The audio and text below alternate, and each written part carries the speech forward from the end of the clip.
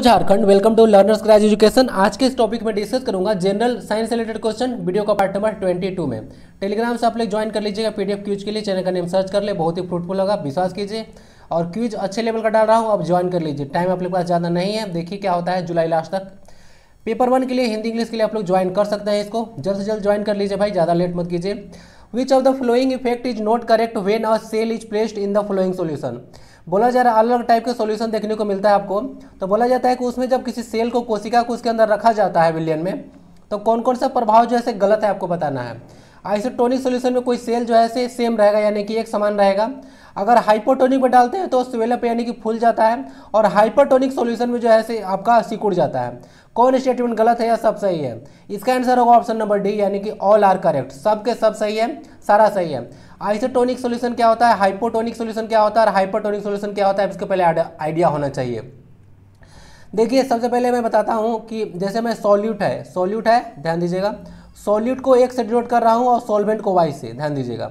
Solute को एक से डिनोट कर रहा हूँ और सॉल्वेंट को वाई से, चलिए। दोनों ए से ही है, इसलिए कन्फ्यूज़न हो जाएगा फिर। सॉल्यूट एक से आपका। तो आइसोटोनिक सॉल्यूशन में क्या होता है कि आइसोटोनिक है। आइसोटोनिक में जो सॉल्यूट और सॉल्वेंट का अमाउंट दोनों बराबर होता है, क्या होता है? सॉल्यूट और सॉल्वेंट का अमाउंट बराबर होता है। हाइपोटोनिक सॉल्यूशन में क्या होता है कि जो सॉल्यूट होता है, सॉल्यूट का अमाउंट जो होता है, सॉल्वेंट से कम होता है। सॉल्यूट का जो अमाउंट होता है सॉल्यूट मतलब नमक जैसा चीज़, नमक, चीनी वगैरह एग्ज़ाम्पल समझिए, वह जो है पानी में कम मात्रा में है तो उस सॉल्यूशन को आप लोग हाइपोटोनिक बोलते हैं। उसके बाद जो है एक हाइपोटोनिक आता है, जिसमें आप लोग का जो सॉल्यूट है, वह ज़्यादा मात्रा में करने का तात्पर्य है कि जैसे कि आप लोग एक के जी पानी लीजिए, उसमें डेढ़ के जी नमक डाल दिए। उस तरह से उसको कैसे घोल के सोल्यूशन बना दिए। तो उस तरह से जो सॉल्यूशन बनेगा, उसको आप लोग हाइपरटोनिक सॉल्यूशन बोलिएगा, यानी कि अमाउंट ऑफ़ जो सॉल्यूट है, वह जो ऐसे ज़्यादा रहता है तो इस तरह का सोल्यूशन होता है। अलग अलग सॉल्यूशन में सेल क्या इफ़ेक्ट डालता है? सारा देख लीजिएगा। आइए थोड़ा समझाते हैं कि आखिर सब सॉल्यूशन में होता क्या है। जैसे कि एक हाइपरटोनिक सॉल्यूशन है, एक आइसोटोनिक सॉल्यूशन एक हाइपोटोनिक सॉल्यूशन है। तो जैसे मैं पहले बताया था कि हाइपरटोनिक में सॉल्यूट यानी कि एक्स का मात्रा जैसे ज़्यादा है। एक्स का मात्रा ज़्यादा है यानी कि नमक ज़्यादा है। तो नमक ज़्यादा है तो अब पानी कम है तो सेल में से पानी जो होता है ना बाहर निकलने लगता है। सेल में से जो है वाटर निकलने लगता है बाहर में यानी सोल्यूशन तरफ़। तो उस केस में जो सेल जो है श्रिंक कर जाता है यानी कि सिकुड़ जाता है। और आइसोटोनिक सोल्यूशन में आपको बताया था कि एक्स जो है बराबर होता है वाई यानी कि सोलिट और सॉल्वेंट बराबर है। तो सेल जो होता है नॉर्मल में रहता है। और उसके बाद जब हाइपोटोनिक सोल्यूशन जब चर्चा किया था तो इसमें बताया था आपको कि जो अमाउंट ऑफ़ सॉल्यूट है से आपका सॉल्वेंट से कम हो, कम होता है यानी कि वाटर ज़्यादा होता है। जब वाटर ज़्यादा रहेगा इधर में और सेल में वाटर कम रहेगा तो वाटर जो है इधर से मूव करने लगेगा सेल की तरफ़। और इसका रिज़ल्ट क्या होगा कि सेल जो है, से स्वेल अप कर जाएगा, यानी कि फूल जाएगा। बात समझ में आ गया? तो यही तीन तरह चीज़ होता है, तीन तरह का सोल्यूशन होता है। मैं कभी ऐसा डिस्कस नहीं किया था तो सोचा को डिस्कस कर दो। इंपॉर्टेंट चीज़ है ना। डायरेक्ट भी हाइपरटोनिक आइसोटोनिक या हाइपोटोनिक सोल्यूशन पूछ सकते हैं। जैसे सीजल का एग्ज़ाम है थोड़ा लेवल रहता है एग्ज़ाम का। मैं तो पहले भी चर्चा कर चुका हूँ। All given option are correct सारा का सारा सही है। क्या होता है? सोल्यूशन सॉल्वेंट वगैरह तो सारा पता होगा आपको। सॉलिड जो होता है ना, एक सब्सटेंस होता है जो पानी वगैरह में लगभग घुलता है, यानी कि सॉलिड जो घुल जाए, उसे सॉलिड बोलते हैं। सॉल्वेंट जिसमें कुछ घुलता है, उसको आप लोग सॉल्वेंट बोलते हैं। और सॉल्यूट और सॉल्वेंट मिल गया, उसके बाद विलियन यानी कि सॉल्यूशन बन गया। क्वेश्चन नंबर नेक्स्ट आता है which of the following tubes in plants is responsible for transportation of water and minerals from root to the different parts of body अब मिनरल्स वगैरह है और पानी है तो कहाँ से आएगा भाई? अब आसमान से तो उड़ के नहीं आएगा पानी। पानी रूट से ही लिया जाएगा ज़मीन से। तो बताइए कि कौन जो है रिस्पॉन्सिबल होता है एक जगह से दूसरी जगह पानी ले जाने में और मिनरल्स वगैरह को ट्रांसपोर्ट करने के लिए? Xylem phloem both A and B या फिर नन ऑफ़ दीज देखिए, इसके लिए रिस्पॉन्सिबल होता है जाइलम जैसे बताया था जाइलम मतलब जल समझ लीजिएगा और फ्लोएम मतलब फल, यानी कि फ़ूड ओके तो इस तरह से समझ समझ लीजिएगा। तो जाइलम जो है से वाटर का और मिनरल्स का।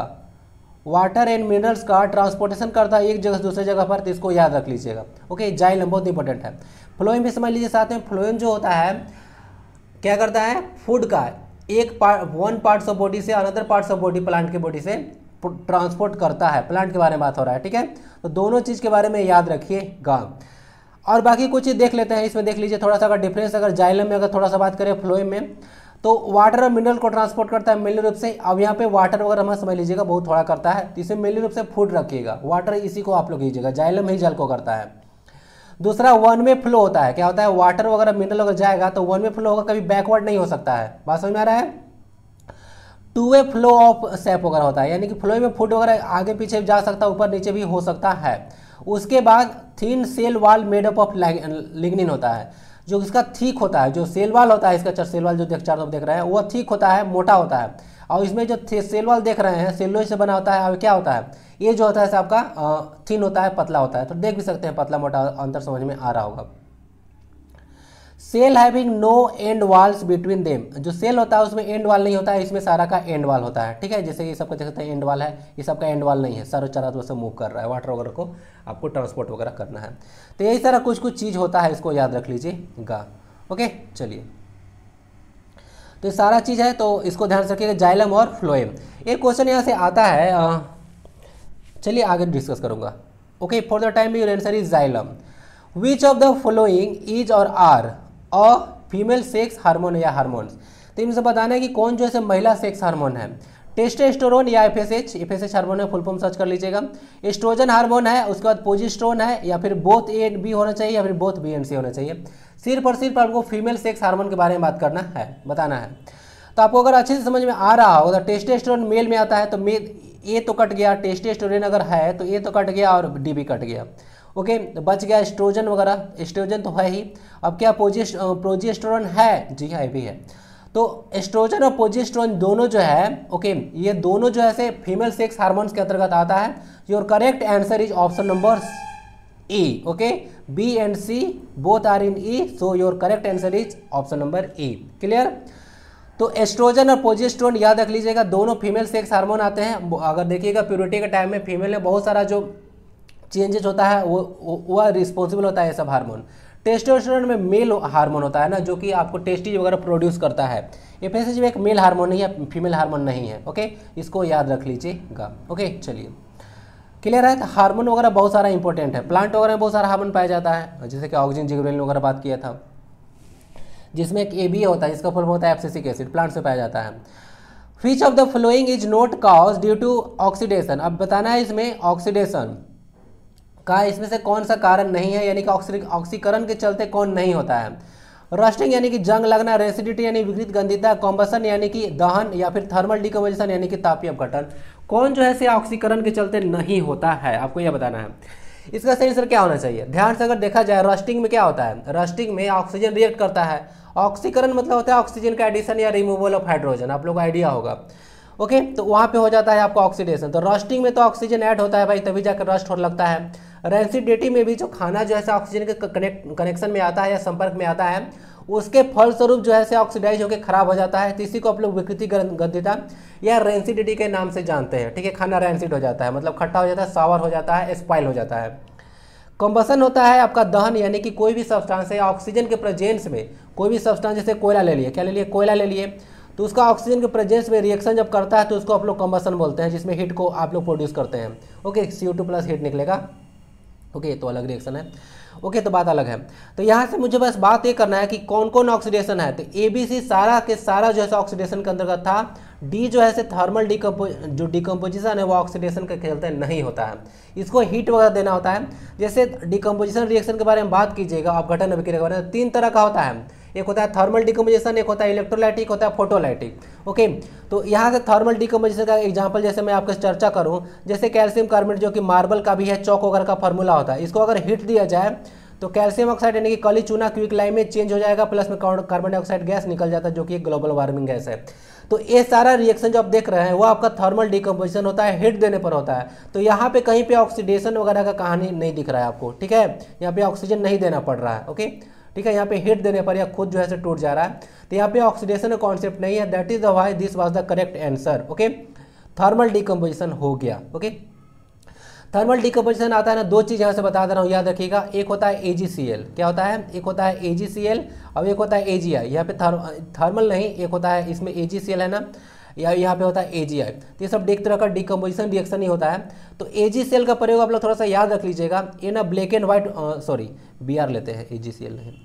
ए का यूज़ आर का यूज़ आप लोग ब्लैक एंड व्हाइट फोटोग्राफी में करते हैं। किसमें? ब्लैक एंड व्हाइट फोटोग्राफी में। और इस आई का यूज़ आप लोग आर्टिफिशियल रेन में करते हैं। दोनों जो है क्वेश्चन इंपॉर्टेंट है। आर सॉरी एल नहीं होगा। वो दूसरा चीज़ होता है।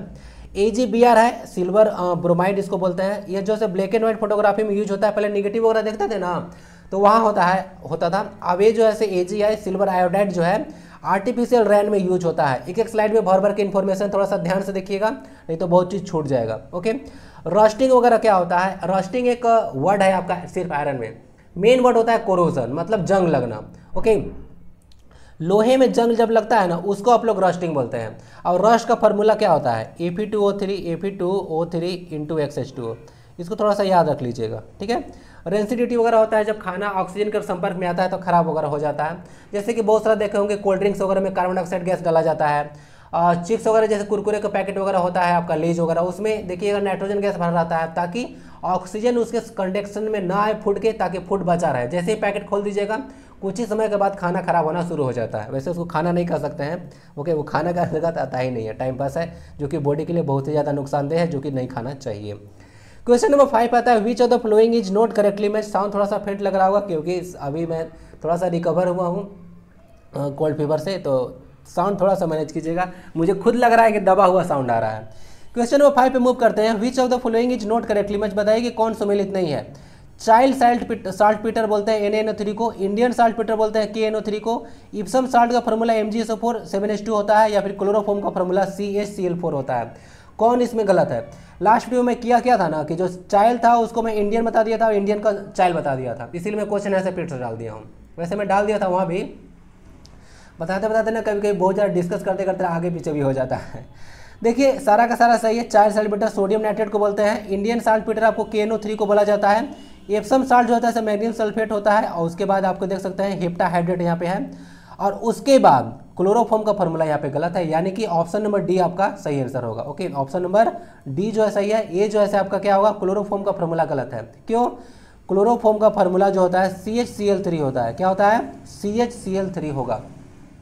ओके ट्राईक्लोरोमीथेन अगर इसको बोलिएगा नाम तो ट्राईक्लोरोमीथेन हो जाता, हो जाएगा, ठीक है? इसको याद रखिए। क्लोरोफॉर्म का यही फॉर्मूला है C H C L three okay चलिए। क्लोरोफॉर्म का यूज़ आप लोग देखे बहुत सारा मूवी वगैरह में होता है ना कि लोगों को सुंघा के बेहोश कर देने के लिए यूज़ होता है। बाकी डॉक्टर लोग भी यूज़ करते हैं क्लोरोफॉर्म सुंघा देते हैं। और उसके बाद आप लोग इथर वगैरह भी यूज़ होता है वैसे तो कि उसके बाद बेहोश करके आप लोग को इलाज वगैरह करते हैं। ओके तो ये सारा होता है क्लोरोफॉर्म वगैरह सुंघा बेहोश करने के लिए जनरल यूज़ होता है। बाकी सारा देख लीजिएगा इंपॉर्टेंट है। बाकी कुछ कुछ चीज़ है ना आपको बता देता हूँ, जो कि आपको हो सकता है एग्ज़ाम में पूछ दे। एक होता है कास्टिक सोडा ना, का नाम बोल रहा हूँ फॉर्मूला लिख दे रहा हूँ। कास्टिक सोडा जो होता है, वो एनएच को बोला जाता है।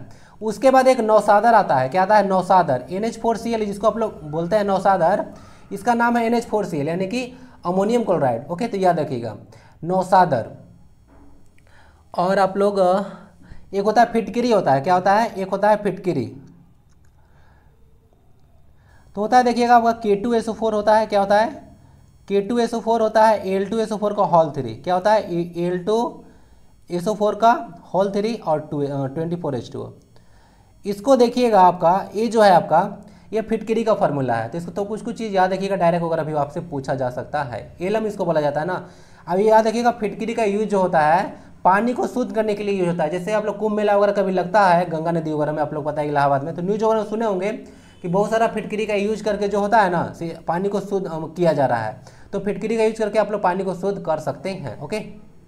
जो उसमें अशुद्धि होता है, उसको यह सोख लेता है, ओके? चलिए। मूव करते हैं और बहुत सारा ऐसे होता है नाम। एंसर इज़ डी क्लोरोफॉर्म का गलत था। Which of the following method या methods is or are use to prevent corrosion in iron यानी कि जो आयरन होता है, उसमें किसका आप लोग प्रयोग करके उसको जंग लगाने से आप लोग बचा सकते हैं। एनोडाइजिंग वगैरह कर सकते हैं सोल्डरिंग कर सकते हैं कार्बोनाइजेशन कर सकते हैं गैलोनाइजेशन कर सकते हैं या फिर थर्मिट प्रोसेस कर सकते हैं। देखिए, इसमें जो आप लोग यूज़ कर सकते हैं ना, वह कर सकते हैं इसमें एक आप यूनाइजिंग यूज़ कर सकते हैं, एक गैल्वेनाइजेशन यूज़ कर सकते हैं। ऑप्शन नंबर सी चला जाएगा, यहाँ पे थोड़ा सा गड़बड़ है। यहाँ पे फोर होना चाहिए ओके क्या होगा? ऑप्शन नंबर वन और फोर दोनों होगा, क्यों? सी आंसर चला जाएगा।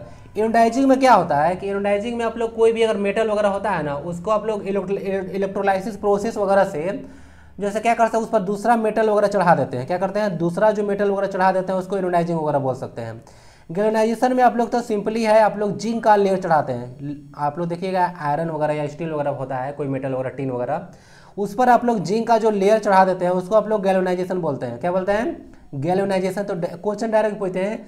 गैलोनाइजेशन प्रोसेस में आप लोग किसका जो है प्रयोग करते हैं? किस मेटल का पर चढ़ाया जाता है? तो जिंक का चढ़ाया जाता है। आंसर हो जाएगा वन एंड फोर ओके यहाँ पे थोड़ा सा गड़बड़ था। वन एंड फोर होगा, इसको याद रखिएगा ओके चलिए। एक यहाँ से ना थर्म सोल्टिंग तो दो मेटल को ऐसे ऐड कर देता किसी तरह से। और थर्मिट प्रोसेस यहाँ पर डिस्कस कर देता हूँ। क्या करता हूँ? थर्मिट प्रोसेस को आप लोग के समय डिस्कस कर देता हूँ। आप लोग एक रिएक्शन देखिएगा एल्यूमिनियम ऑक्साइड आयरन ऑक्साइड का आयरन ऑक्साइड का एल्यूमिनियम के साथ रिएक्शन देखिएगा। इतना ज़्यादा हाईली एक्सोथर्मिक होता है हाईली एक्सोथर्मिक होता है कि आयरन जो होता है आपका मोल्टन स्टेट में, यानी कि पूरा लिक्विड फॉर्म में आप लोग को आता है ओके क्या में लिक्विड फॉर्म में आपको मिलता है और इसी लिक्विड फॉर्म का यूज़ आप लोग अगर दो रेल अगर ट्रैक वगैरह होता है तो अगर दरार वगैरह पड़ जाता है तो इस लिक्विड मटेरियल का यूज़ करके आप लोग इसको फिल करते हैं ओके और बाद में हार्ड होने के बाद आपको पता चल जाता है क्या हो जाता है, भर जाता है ओके तो इस थर्मिट रिएक्शन का यूज़ जो होता है, ये थर्मिट रिएक्शन है, बहुत हाईली एक्सोथर्मिक यानी कि उसमें छिपी विक्रिया होता है एनर्जी हाई बहुत निकलता है। इतना निकलता है कि आयरन जो होता है लिक्विड हो जाता है। और इसका यूज़ आप लोग रेल के ट्रैक वगैरह, पटरी वगैरह जोड़ने में कर सकते हैं। या बहुत सारा मशीनी पार्ट्स वगैरह जहाँ पे क्रेक लग जाता है, वहाँ पे इसको जोड़ने के लिए किया जाता है। बहुत ही इंपॉर्टेंट क्वेश्चन है। Okay option option number C is the correct answer okay one and four होगा एनोडाइजिंग और गैल्वेनाइजेशन क्वेश्चन सेवन देखते हैं which disinfectant disinfectant is recommended to kill corona virus corona virus के बारे में तो पता होगा सारा। सारा चीज़ तो मालूम होगा, आज डिस्कस कर देते हैं तो इसे बताइए कि किस कीटाणुनाशक का प्रयोग जो है कोरोना वायरस को मारने के लिए किया जा सकता है? Carbolic acid, phenyl, sodium hypochlorite या फिर पैरासीटामोल? किसका आप लोग यूज़ कर सकते हैं? देखिए, इसमें आप लोग यूज़ कर सकते हैं सोडियम हाइपोक्लोराइड का। किसका? सोडियम हाइपोक्लोराइड का यूज़ कर सकते हैं। यहाँ पे लिखा हुआ भी है सोडियम हाइपोक्लोराइड। NaClO का यूज़ आप लोग कर सकते हैं ओके इसका नाम है सोडियम हाइपोक्लोराइड कोरोना वायरस का जो होता है ऐसे जो कोरोना का जो डीएनए होता है, उसको ऐसे किल कर देता है तो आप लोग कोरोना वायरस से बच जाते हैं ओके तो इसको याद रखिएगा। कोरोना वायरस का नाम देखिएगा, आप लोग देखिए किसे तो कोविड नाइन्टीन बोलते हैं। इसका देखिएगा, इसका नाम है सार्स इसका वायरस का नाम है SARS CoV two SARS CoV two नाम है, क्योंकि पहले भी एक बार आ चुका है। सार्स देखिए, इतना इंपॉर्टेंट यह वर्ड है से आपसे डायरेक्ट भी आपसे पूछ सकते हैं कि सार्स में ए का क्या मतलब है? आर का क्या मतलब है? एस का क्या मतलब है? लास्ट वाले इसका तो होता है सेवियर एक्यूट रेस्पिरेटरी सिंड्रोम ध्यान दीजिएगा।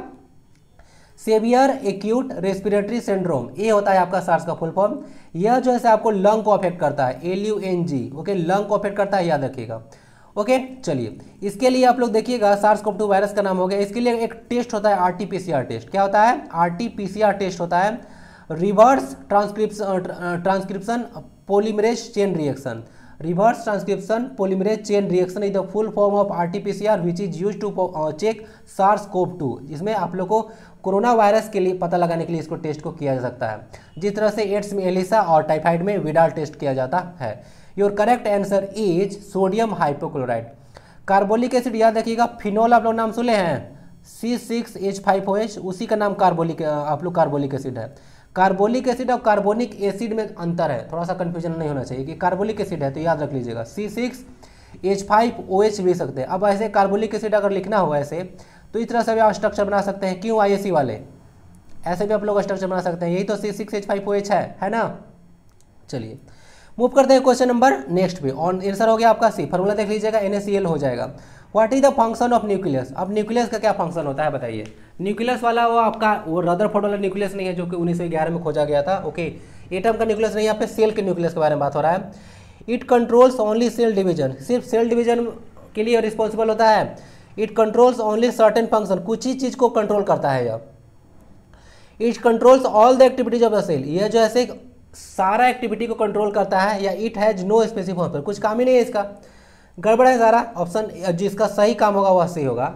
जितना भी एक्टिविटी होता है सेल का, सारा का सारा जो होता है ये कंट्रोल करता है। यानी कि सेंटर होता है भाई। और सेंटर को भी चाहिए होता है, आपको पता होगा 99 परसेंट अगर एटम की बात करें तो वहाँ पे मास होता है।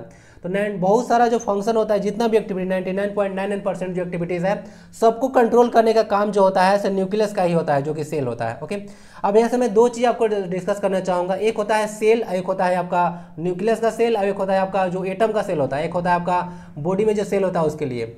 तो ये जो सेल है, आप लोग देखते हैं बॉडी में सेल, उसकी तो आपको पता होगा रॉबर्ट हुक के द्वारा इसको खोजा गया था सोलह सौ पैंसठ ईस्वी में। और इसका एक न्यूक्लियस होता है, इसका भी एक न्यूक्लियस होता है जो कि ऑब्वियसली क्वेश्चन है। इसका खोज जो है आपको किए थे रॉबर्ट ब्राउन के द्वारा किया गया है। रॉबर्ट ब्राउन के द्वारा जो है इसको खोजा गया था, इस न्यूक्लियस को। और जो आप लोग देखते हैं ना, उन्नीस सौ ग्यारह में जो रदरफोर्ड अल्फ़ा स्केटरिंग एक्सपेरिमेंट हुआ था, उस समय जो एटम का न्यूक्लियस का जो खोज हुआ था, वो किए थे आपका रदरफोर्ड ओके आपको अच्छे से पता होना चाहिए ओके चलिए। आंसर इज़ सी देख लीजिए, यही सारा आपको सेल होता है न्यूक्लियस है अंदर सेल होता है, उसके अंदर यहाँ पे ये सब दिख रहा होगा सारा आपको प्लाज्मा मेम्ब्रेन वगैरह, इस सेल मेम्ब्रेन को प्लाज्मा मेम्ब्रेन बोलते हैं। लाइसोसोम वगैरह देख सकते हैं, जिसमें कोशिका का आत्मघाती थैली वगैरह बोलते हैं आपको। उसके बाद उसके बाद राइबोसोम होता है, जहाँ पर प्रोटीन का साइंथेसिस वगैरह होता है। माइटोकॉन्ड्रिया देख सकते हैं जो उसको बिजली घर वगैरह बोलते हैं। और इसे न्यूक्लियर मेम्ब्रेन है। एक न्यूक्लियर मेम्ब्रेन है एक प्लाज्मा मेम्ब्रेन, दोनों में अंतर है। जो न्यूक्लियस को घेर कर रखता है, उसको आप लोग न्यूक्लियर मेम्ब्रेन बोलते हैं। ये भी ही पोर होता है, इसमें कुछ मटेरियल अंदर जा सकता है। ठीक है, और न्यूक्लियस के अंदर भी इसका सेंटर पॉइंट होता है, उसको आप लोग न्यूक्लियोस लॉस बोलते हैं। ठीक है? देख लीजिएगा, यही सेल वगैरह है एक। ओके चलिए। मूव करते हैं क्वेश्चन नंबर नाइन पे। What percent of sun's energy falling on the leaves is converted into the food energy ध्यान दीजिएगा थोड़ा सा। बोला जा रहा है कि प्लांट पर आप लोग को अच्छे से आइडिया होगा प्लांट पर कोई भी चीज़ अगर गिरता है, जैसे कि प्लांट पर लाइट भी गिरेगा तो प्लांट पर जो सनलाइट गिरता है तो उसका पूरा के पूरा पार्ट उन लोग थोड़ी ना जो एब्जॉर्व कर लेता है। तो आपको बताना है कितना परसेंट पार्ट जो है फ़ूड एनर्जी में कन्वर्ट किया जाता है। वन परसेंट ज़ीरो वन है twenty percent twenty five percent या थर्टी परसेंट कितना आंसर होना चाहिए? इसको ध्यान से देखिए ओनली वन परसेंट सिर्फ़ और सिर्फ़ एक परसेंट ठीक है? सिर्फ़ और सिर्फ़ एक परसेंट जो है सन जितना भी फॉल होता है लिप पे, उसका एक ही परसेंट पार्ट को जो है से एनर्जी में फ़ूड एनर्जी में कन्वर्ट किया जाता है, जो कि ऑब्वियसली आपको पता होगा कि इन लोग जो है से अल्टीमेटली जाके ग्लूकोज वगैरह बनाता है। ठीक है? क्या होता है? ग्लूकोज वगैरह बनाता है। लेकिन जो फ़ूड स्टोर होता है स्टार्च के फॉर्म में होता है हम लोग में ग्लाइकोजेन होता है। ठीक है? तो इसको थोड़ा सा याद रख सकते हैं। एक परसेंट एनर्जी जो होता है से वो कन्वर्ट किया कन्वर्ट होता है फ़ूड एनर्जी में प्लांट में। ठीक है? तो याद रखिएगा। फोटोसाइंथेसिस रिएक्शन तो आपको कितनी बार बता चुका था? एक बार फिर से बता देता हूँ, रिएक्शन तो लिया नहीं हो, चलिए बताता हूँ। जैसे कि आपको पता होगा फोटोसाइंथेसिस रिएक्शन जो होता है जैसे कार्बन डाइऑक्साइड होता है और वाटर के प्रेजेंस में यहाँ पे सनलाइट और क्लोरोफिल होता है। क्या होता है? सनलाइट होता है और क्लोरोफिल के प्रेजेंस में यह रिएक्शन होता है, जहाँ पर आपको पता होगा glucose C six H twelve O six बन जाता है और उसके बाद यहाँ से ऑक्सीजन जो है रिलीज़ हो जाता है। क्या होता है? ऑक्सीजन रिलीज़ होता है। बैलेंस वगैरह कर लीजिएगा सिक्स दे दीजिए, सब जगह यहाँ पे बैलेंस वगैरह हो जाता है। ओके? तो इसको देख लीजिएगा। यही आपका ग्लूकोज है, इन लोग का फ़ूड है। क्या है? ग्लूकोज फ़ूड वगैरह है इन लोग का। तो यही रिएक्शन होता है। ओके? चलिए। दो इंपॉर्टेंट पॉइंट है, बताता हूँ। एक होता है येलो लाइट एक होता है येलो लाइट एक होता है रेड लाइट जो कलर में लिख रहा हूँ, उस कलर के लाइट में फोटोसाइंथेसिस सबसे ज़्यादा हाई होता है। अगर पूछे कि किस रंग के प्रकाश में जो रेट ऑफ़ फोटोसाइंथेसिस होता है, सबसे अधिक होता है तो your answer should be red light red light में जो होता है फोटोसाइंथेसिस क्रिया बहुत ही तीव्रता से होती है, और जो येलो लाइट है, क्या है येलो लाइट होता है, उसमें रेट ऑफ़ जो फोटोसिंथेसिस होता है, सबसे लो होता है, यानी कम होता है. इसको याद रखिएगा, ठीक है? पॉइंट नंबर नेक्स्ट डिस्कस करना चाहता हूँ, आपसे पूछते हैं कि फोटोसाइंथिस रिएक्शन देख लिए फोटोसाइंथिस क्या होता है? कि फोटोसाइंथिस रिएक्शन के ड्यूरिंग जो ऑक्सीजन रिलीज़ होता है वह ऑक्सीजन कहाँ से आता है? आपके पास बहुत सारा ऑप्शन दे देगा कार्बन डाइऑक्साइड दे देगा इन्वो ठीक है वाटर दे देगा इन्वोमेंट दे देगा। ओके तो यह जो वाटर आता, आता है ना वो सॉरी ये जो ऑक्सीजन आता है वाटर से आता है ये भी एक इंपॉर्टेंट क्वेश्चन आपके लिए है ओके सारा चीज़ को ध्यान से देख लीजिएगा ओनली वन परसेंट जो है यूज़ किया जाता है सूर्य के प्रकाश का ओके चलिए। और सूर्य के प्रकाश को ट्रैप करने का काम कौन करता है? आपको पत्ती में क्लोरोफिल पाया जाता है, वही जो है सनलाइट को ट्रैप करता है।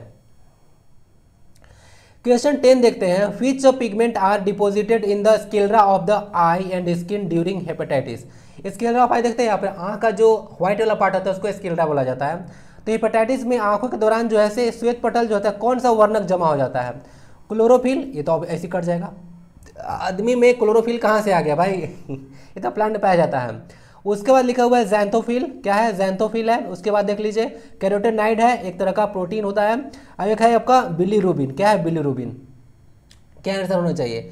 आंसर होगा आपका ऑप्शन नंबर डी यानी कि जो बिलीरूबिन है और एक और होता है। बिलीरूबिन के अलावा एक होता है बिल बिलीवेडिन क्या होता है? बिलीवेडिन दो तरह का पिग, पिगमेंट जो है से आपके आँखों का जो श्वेत पटल है यानी कि स्केलरा है उसमें इकट्ठा हो जाता है। आइए बताते हैं हेपेटाइटिस जो होता है एक ऐसा बीमारी होता है जो कि आपका लीवर को अफेक्ट करता है। क्या करता है? लीवर का ये भी पाँच तरह का होता है। ए बी सी डी और ई e. तो hepatitis A B C D और ई e.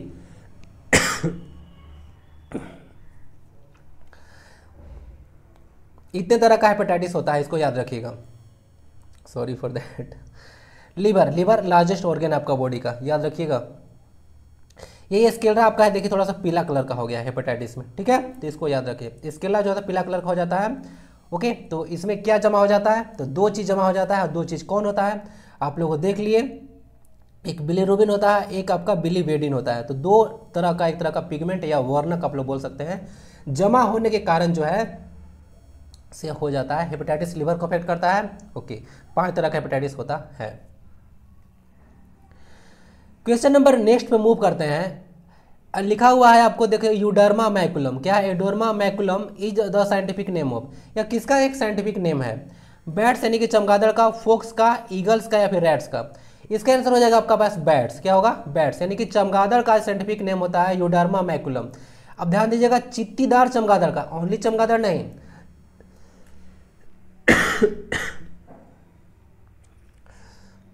बहुत दिक्कत हो रहा है वीडियो रिकॉर्ड करने में।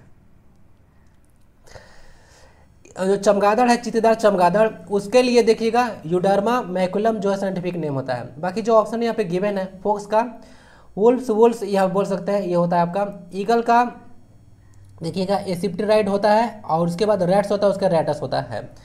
तो सारा साइंटिफिक नेम देख लीजिएगा। बर्गद वगैरह का याद है ना फाइकस बेंदालिसिस वगैरह, ये सब याद रखिएगा होमोसिपल्स वगैरह, आदमी का होता है, ये सब तो आपको आइडिया होगा। आम का मैग्निफेरा इंडिका वगैरह। नेक्स्ट क्वेश्चन आता है which of the following vitamin is formed in kidney बोला जा रहा है किडनी में कौन सा विटामिन जो है सो फॉर्म्ड होता है? ए बी सी डी या ई e? सारा का सारा विटामिन यहाँ पे है।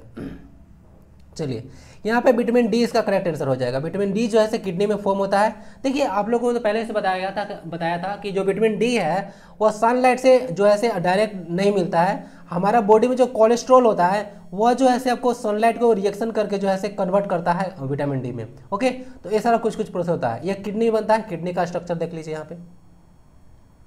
देख लीजिए, यहाँ पे आपका आपका जो है स्केटिक सिस्टम वगैरह यहाँ पे सारा चीज़ निकलता है। तो यहाँ से देख सकते हैं, यहाँ पे किडनी होता है। मानव में दो किडनी पाया जाता है, ठीक है? किडनी वाला आईफोन तो आपको पता ही होगा ओके तो ये देखिएगा किडनी वगैरह बिन शेप का होता है। किसी सेम के जैसा होता है ना?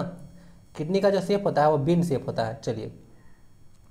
दो होता है फिल्ट्रे, फिल्ट्रेशन इसका काम होता है, फिल्ट्रेट वगैरह करता है ओके एक अगर नहीं रहेगा, दूसरा से काम चलता है ओके तो ये किडनी बेचकर आईफोन भी लिया जा सकता है। चलिए। तो यही से बनता है। आप थोड़ा चर्चा कर देते हैं बाकी सारे का विटामिन ए, इस सबका साइंटिफिक थोड़ा सा साइंटिफिक केमिकल नेम याद रखिएगा, ठीक है? केमिकल नेम सबका। विटामिन ए का रेटिनोल होता है विटामिन बी का थायमिन होता है विटामिन सी का आपका हो जाता है स्कॉर्बिक एसिड विटामिन डी का होता है आपका कैल्सीफेरॉल और विटामिन ई का होता है टोकोफेरल और विटामिन जो के होता है उसका होता है फिलोक्यूनिन।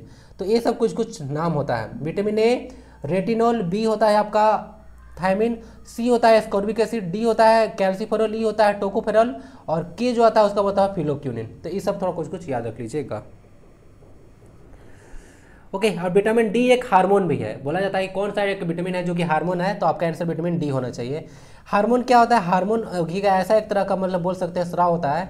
हार्मोन किसको बोलते हैं? एक तरह का ऐसा लिक्विड जो अंत, जो अंतस्रावी ग्रंथि के द्वारा डायरेक्ट जो ब्लड में चला आता है, उसको हार्मोन बोलते हैं। तो सारा जो आप लोग देखते हैं विटामिन डी है, ये सीधा ब्लड स्टेम में आता है, इसलिए इसको हार्मोन कहा जाता है। ओके, बहुत सारे हार्मोन का नाम सुने होंगे। ठीक है?